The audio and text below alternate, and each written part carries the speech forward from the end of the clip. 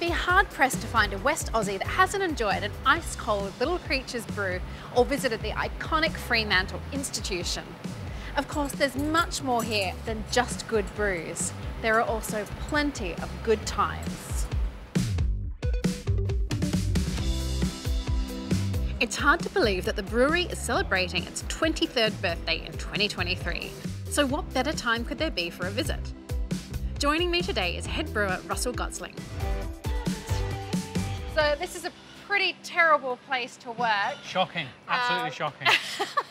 Can you tell me about the history and what it means to you personally? Well, we've been here on this old crocodile farm for almost 23 years.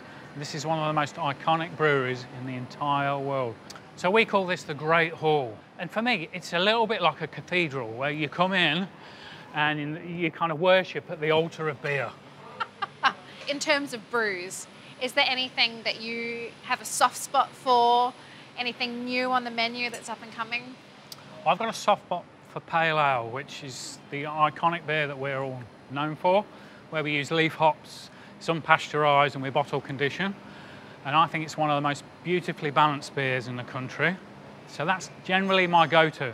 We've just released, released a stout, which kind of really suits these cooler winter weather. Um, we're just about to release a, a native uh, pale ale where we use some lemon myrtle. And that's going to coincide with NAIDOC week as well, so we're excited about that. But we've got a constant calendar of, of new beers coming through. We've also got Frio Lager, which we only brew here, and a draft ale that we only brew here. So yeah, there's plenty to offer everyone. The only philosophy we really have is we want to make beer that, that has drinkability. So flavour plus balance equals refreshment. So we try and make really well balanced, well structured beer basically.